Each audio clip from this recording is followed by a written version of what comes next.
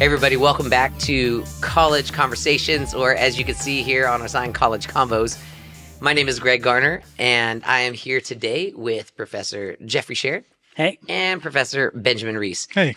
And we want to talk about something that um, probably could be a little boring, uh, maybe just because people don't know too much about it. I think for folks who are engaged in the process of accreditation or who have been a part of the kind of teams that ensure accreditation is intact for other institutions, uh, it, it, could be more interesting because of their experiences. Now, Jeff is our accrediting liaison Yeah. with the Association for Biblical Higher Education. And we started the accreditation journey uh, in uh, 2017, I believe, as the Institute for GOD. In this episode, what I wanted to do was just talk about what is accrediting, Mhm. why is it important, why why why do we do it, and then also, uh, I'm I'm the kind of person that is. Uh, I, I I think like you guys critical about why we have to do certain things, especially when they don't make sense. Mhm. Now, I also know that just because it doesn't make sense to me doesn't mean it doesn't make sense. However, I think that if a person can't explain to me why it should make sense, I'm still in the camp it doesn't make sense. Right. So um, maybe that'll come up, especially when we talk about things like library Mhm. and um, why why that's such a big deal to uh, accrediting bodies. But Jeff, Yeah. I think we're going to start with you. Okay. Tell us what accreditation is, and and how does that relate not just to the individuative institutions Mhm. of accrediting bodies, but all the way up to the United States Department of Education. Yeah. Yeah. So accreditation, if we're talking about, you know, for colleges, um, this is a, like in the American to- context, it's actually a little bit different than anywhere else in the world.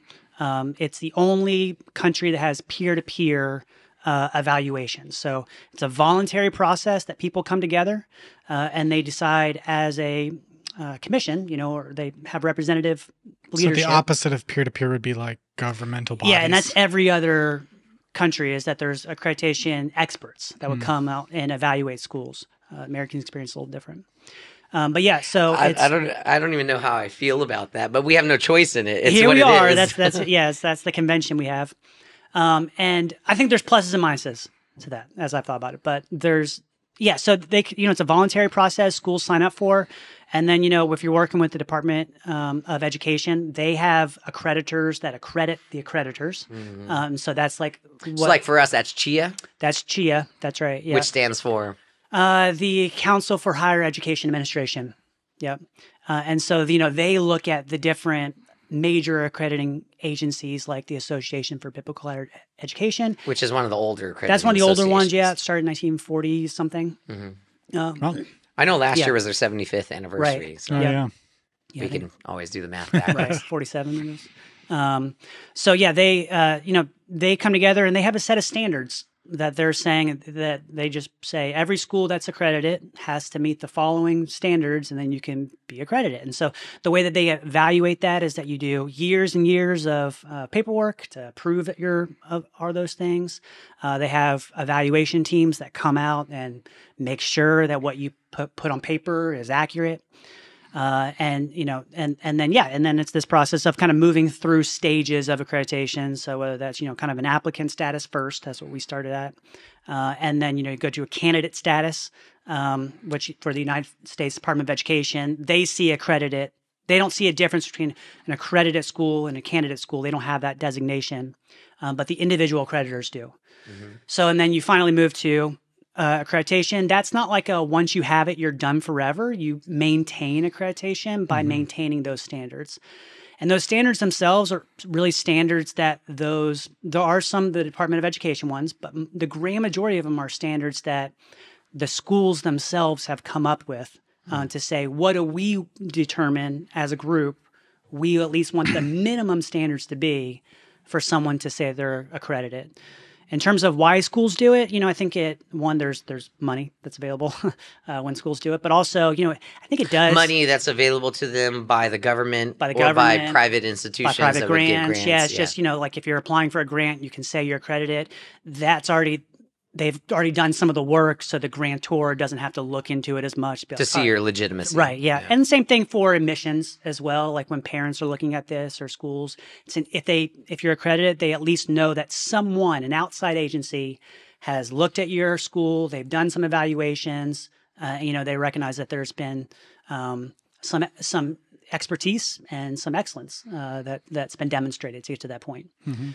Um, so yeah, that's that's kind of what it is and what it's about. Yeah, Um, and I, I think where you were going was that also accreditation allows for other collegiate bodies to easier transfer credits Yeah. if they know that that other college body has been vetted or approved by that accrediting institution yeah, that's right. because they share the same standards. Yeah, yeah. And so some of those standards are, you know, real specific. So if you want to have a class, you have to have that class has to meet for, you know, total number of what they call contact hours. Mhm. Um, that you're in a classroom, in a seat, that you have homework standards. So it's not like, you know, degree mill is a term that gets thrown around Sure. a lot. Um, uh, schools that you can kind of pay for degrees and do it, those are very common. Um, so accreditation is a way of legitimizing that you're not a degree mill. Yeah. Um, yeah, and so for transfer credits, that's real helpful because then they can they can say, all right, we know that this school's been vetted and they meet certain standards, and we'll accept credits easier. How often are the standards updated? So there's a formal, at least for ABHE, and that's one I know most about. Mhm. Uh, there's a formal evaluation every 10 years. We're actually in one right now. Um, Oh. So I've been on some committees and task force uh, last year cool. about revising some of the standards. So yeah, every 10 years. they You guys at it. just talk on Zoom and Talk on Zoom. Yeah, meet in the annual meeting. They're kind of doing a big one right now. They're reducing. There's a 162 what they call essential elements, which is like, you know, what are the specific things that we want? Mhm. And they're cutting that down by I think almost to 100. So it's a lot of those things that are getting cut out. And that will introduce more freedom to yeah, that's the idea. The goal, the goal, the goal of um, of accreditation standards wasn't to be missionally prescriptive.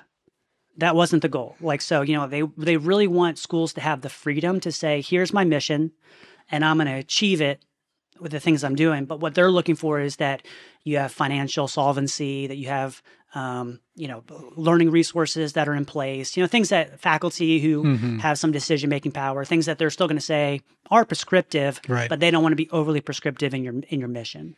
So they're taking out a lot of that stuff to give schools more freedom.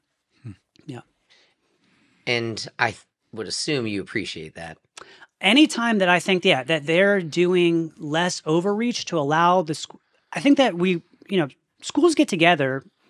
Uh, you know, they, they're, they're, I think often uh, from a work of God, right? It's like someone did something. Christian group- schools, yeah. Christian schools, yeah. That's what I, in the context, yeah. Like Association for Biblical Education, you know, they're looking at Christian uh, Bible schools and, and, and seminaries, but yeah, so it's like when schools get together, they're trying to meet a specific need for a particular place. So I think it's great that schools have the freedom to be like, this is why God has us here. And we might look a little bit different than that major school over there, um, but we can still do it and it's still legitimate within some Sure. standards. Yeah. Yeah, that's good. Yeah. All right. So, you know, our audience are students, Yeah. prospective students, current students, but also parents. And a big question that a school would get right off the bat is is the school accredited? Right.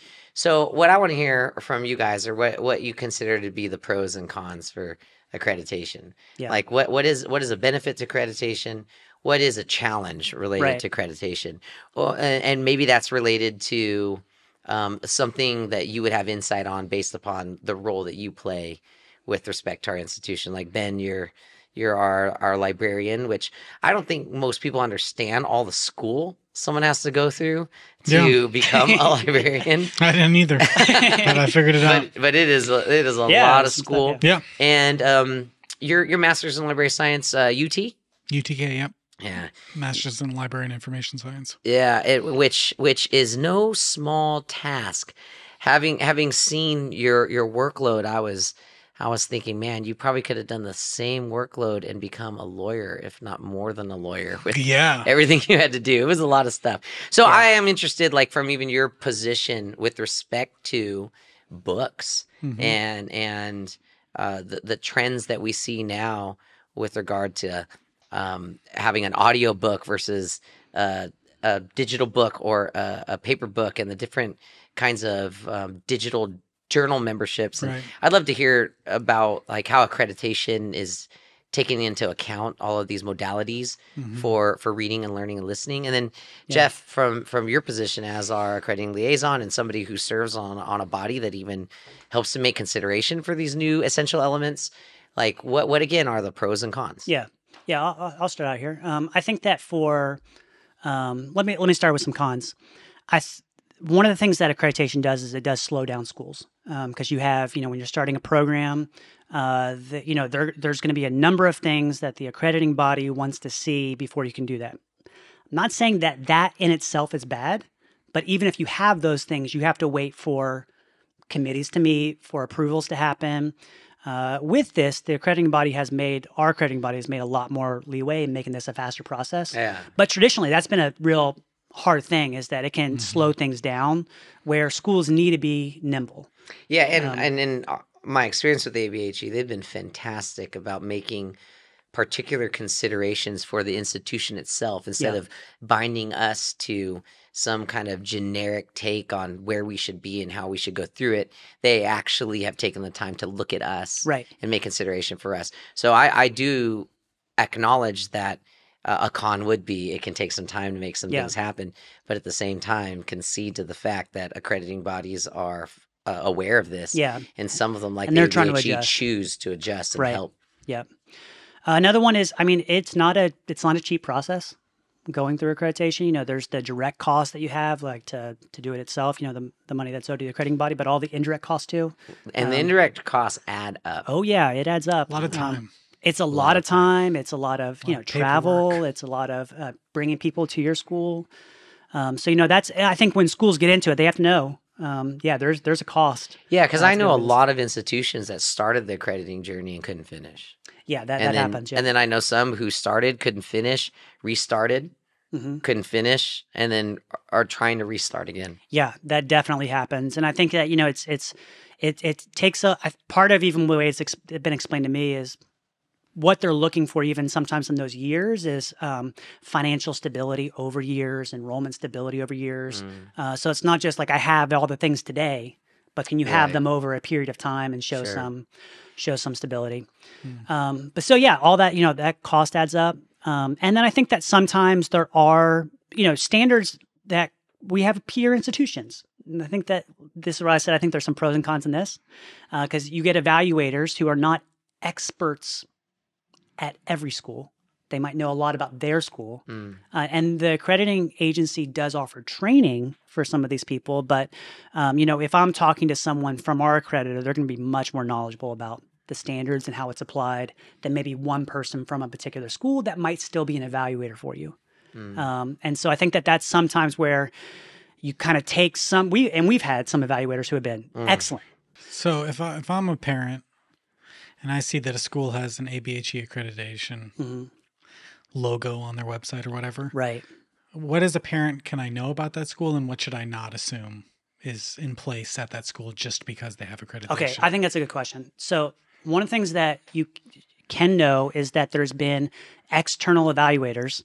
And I think that that, that is important, right? Like someone who was a third party source came in and said, "Yeah, this is this shows shows legitimacy, but more than just legitimacy, they believe that that school is um, uh, meeting its mission."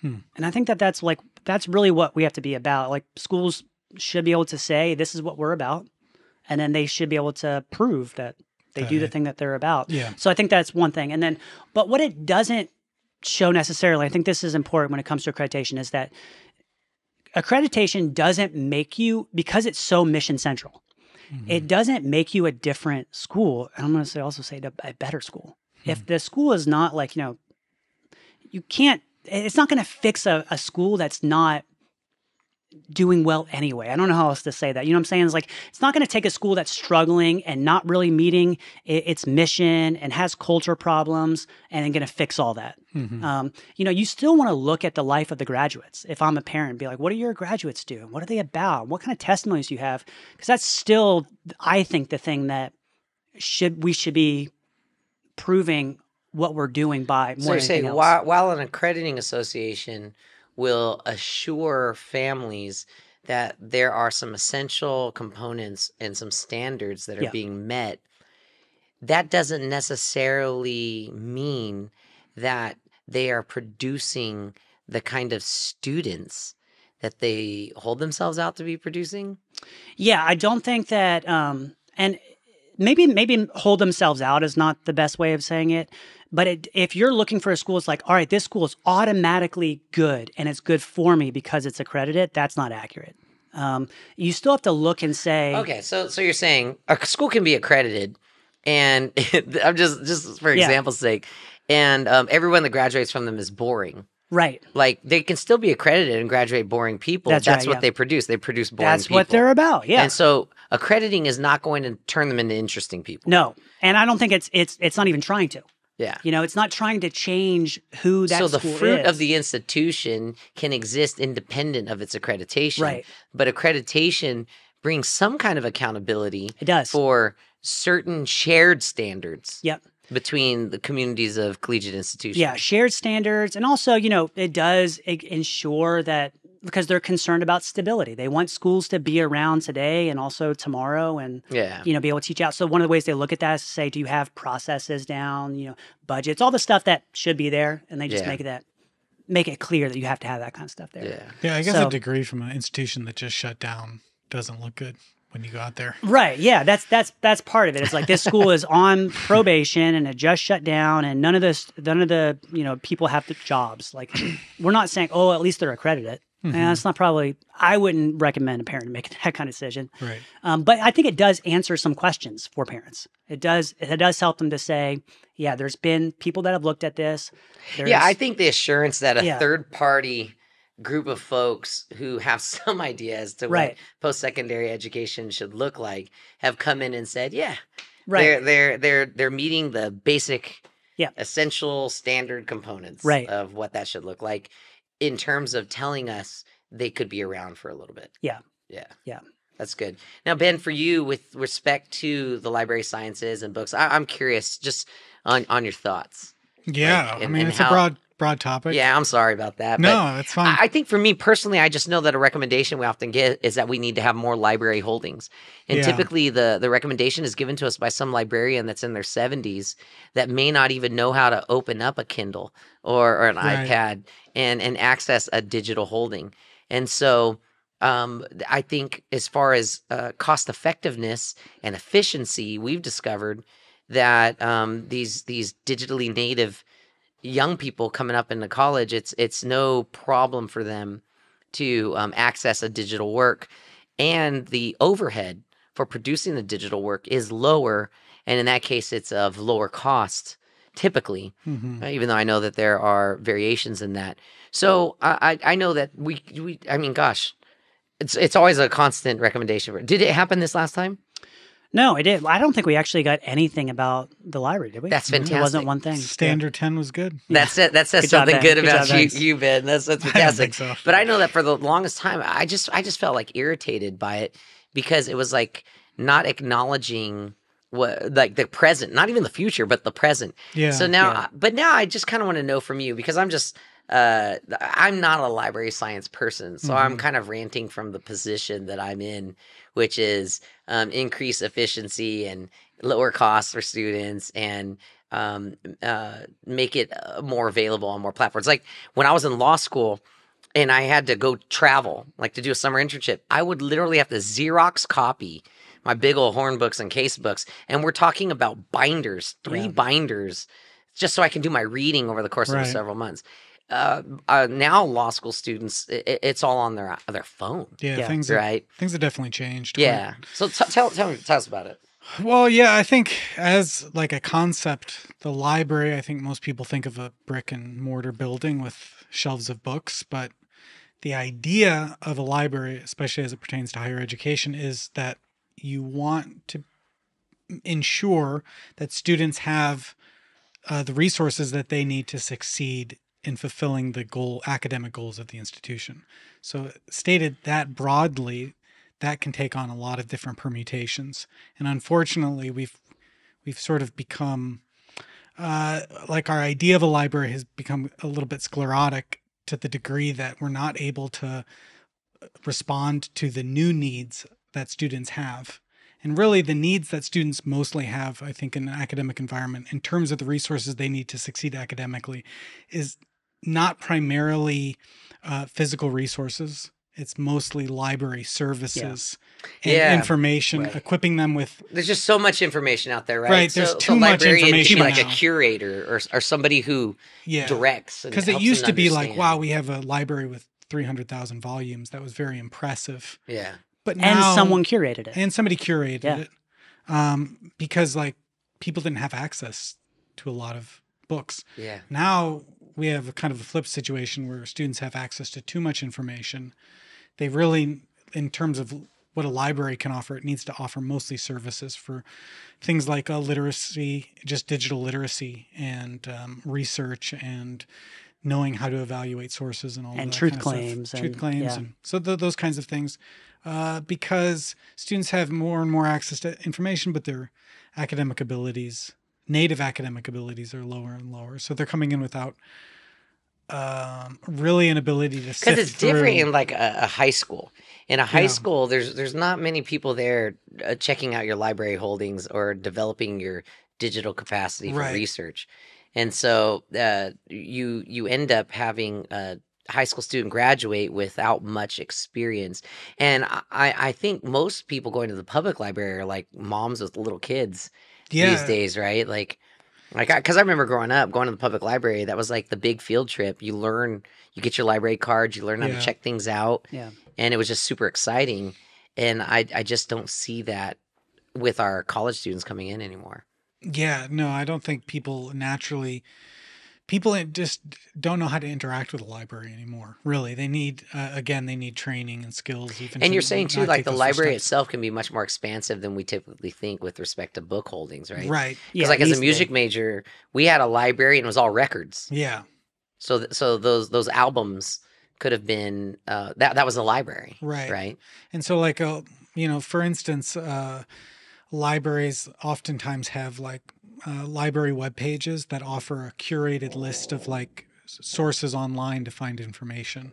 So that's not so much like having your own physical holdings, but being a place that can properly. But speaking of physical direct- holdings, would it be a library? Let's say, take for example, I'm a community development major at the institute, Yeah. and my my focus is on um, sustainable building. Mhm. Could the library hold a var- variety of equipment that Yeah. a student could check out, and that would be considered a library? Yeah. And would we would we let the accrediting association know our library includes all these tools? yeah, yeah, holdings are holdings. So Holdings they are can, holdings, they can yeah. be they can really be anything. I mean, the public library, Nashville's public library, you can um, like check out seeds and you other. can check out garden tools. You can check out board games. You know, all that's yeah, considered. so they, they've they've I mean, kind of slowly, but they libraries have Wait, started. how do you check out a seed? Do you give the seed back? That's what I asked. Well, because I was like, what they give it to you. So it's not really checking out in terms of you have to return it. Uh-huh. Because I was like, do I have to return the plant? the way they or- explained it to me was like if you collect seeds, put them back in the pouch and bring it back. But, they're like, do you expect to do that? And they're like, we do not expect that. Yeah. So So there's a lot of different things. Yeah. I mean, uh, I know at um, you know the Bible school I went to, you could check out puppets for doing evang- you know evangelistic yeah, plays. So So basically, a library then is uh, an inventory space yeah, that is is a, a collection of resources specific to your mission yeah, that you should be able to access and, and Right. return. yeah. It's it's Like, do you feel like we're, we're we're doing that at our institution, and do you feel like other institutions are really thinking about the present need for libraries? Because I, I have to admit, like, this is a really cool conversation for me because my ideas are going, you know, all the yeah, the ways in which we could collect resources that students can access to help Mhm. them do what it things is that they're they're trying to do. Yeah. Um, but at the same time, it's like, w- are we able to market this and let people know our library has seed holdings, you know, whatever it is? I think it's something that I don't know. It's an exciting frontier, but I don't think a lot of people are doing, um, doing enough. Like I, I think that we could, uh, you know, have maybe a repository of like A plus student papers, so that if a student is worried about how to do a certain type of paper, Oh, yeah, that's great. there's a repository they can go to and say, "Oh, this is what an exegetical paper looks like." yeah. They got an A on this paper, Yeah. so it could even include um, like student produced resources. Yeah, that's good. Um, so there's just a lot of different options. Yeah, like you said, like garden tools or like cameras or other things that would Yeah, be any involved. kind of sometimes equipment sometimes tool, it's right? interviews you know with with other people language learning tools um, Yeah. you know, all that kind of stuff um, um, and just ju- kind of preserve stories even from people around the world right. Yeah, and I'm, Yeah. f- I'm familiar with that aspect of it. I just think when you when you have an accrediting body that's going to come in and look at your holdings, like are they are they making a big deal over the variety of holdings, or are they just counting holdings? well i think that for us the question that they're primarily asking is does the library resources um, support the academic programs you know so for us we have our, our programs are in biblical studies and community development and when you when we give a report for both of those things we show strong because we have holdings lots and lots of holdings Basically, in just both of the, those two in categories, just yeah. those two categories And as far as our physical library. so then, but then for us, based upon what you're saying, there's some work to do with respect to um, accumulating the inventory that would excite a, a, a young person's involvement in library, like resources, yeah, like yeah, yeah like even some of the things you're talking about. It'd be so cool to have like a, a I guess it would be a computer with a hard drive or a cloud drive that that has categorized all of these um, interview videos that we have over the years, Yeah. particularly with our um, developing country communities, so that people could create a history out of that. right And then if there seems to be a living component to the library because a student could take that information and then help either categorize it, organize it, tag it. yeah, Yeah, the, li- the librarian is, you know, they're they're a service worker. They're trying to help students to, con- to connect information. They're they're an archivist. They're a researcher. You know, they're they take on an important role in an institution. Um, you know, I heard someone rec- you know, say it this way. I wouldn't say how they said, it, but they, they said the library is the heart of the academic institution. I don't know if I would say it quite that like that way, but I get the idea that you want to have as much resources around that just support students learning more and, Yeah. and having access to the the right kind of information Yeah. um, Yeah. that makes them a better student. but it has you know like I I think um it has to be a service. So Right. you have to think through how to make these things relevant to students, to make them intuitive to students. Because long, long, um, long gone are the days where you can kind of put up a library and a student will look at a library and know how to interact with that institution. So they need like some help. And They- I, I, I think too along these lines, like one of the stories I've heard recently, and I think that this is good, is that they've said some of what they think is can be most detrimental to a library is when they get these huge donations and they build these big buildings. Yeah. Because it, it can it can just turn into we're good because we have holdings. Yeah. And then some of these really large schools get I mean, we've had schools remarks. trying to dump on us all kinds all their of books, holdings right? All their because it's it's really about services yeah, and it comes- connecting to students and it comes down to services. Yeah. yeah. So, so Ben, if you were to dream a little bit about the the library ten years from now, what would it look like? Ooh, 10 years from now? yeah, at the Whoa. institute, what would it look like ten years from now? Hmm. I think it would. I mean, I think it would have a lot of the components that we've talked about so Mhm. far. I think that, I think in terms of a physical space, it would be a space that could like ignite people's imaginations for what's Mhm. possible and like, you know, in terms of like checking out videos or interviews or seeing, uh, connecting with work that's going around the world or getting tools or ideas, and then a place where they can uh, feel uh, safe to ask academic questions. Yeah, because to I think help. that's where where you're you're you're pushing me towards. Is Yeah. it seems like you would you'd probably like to have a couple people manning that library available to serve and help Right. people find things at any time that you're open. yeah, right which i think i think is beautiful uh, because even when you're talking about the kind of holdings i don't think i would need to check out a digital file as much as i would need to be shown how to access, access it from it, my yeah. home Right. that's computer right. Yeah. Right? So there, that service is there but there are some other tangibles that maybe need to be in there that i would need to check out. Yeah, uh, like uh, for example let's say at our school community development we're talking about textiles and and we know now that there's like um, 3d printing that's involved in all of that and a student's exploring it uh, that you'd have a 3d printer to check out. Yeah, Right. or you have an, an even an old sewing machine Yeah. to check out yeah. and that somebody there could show them how to use it right? That's the kind of stuff. Yeah, it's the kind of stuff that I think. And I think, uh, and again, I, I think a place where students feel like, oh man, I have a question about this homework or I don't know what to do here. I know that just the place to go to. I, I feel comfortable because I think students today have a really hard time asking for help. Yeah. So they need a place that kind of inspires. And I think that's where physicality still matters. Yeah. Like, as I know, we, I agree, like, in terms of the holdings, it makes much more sense to do them all digitally. Yeah.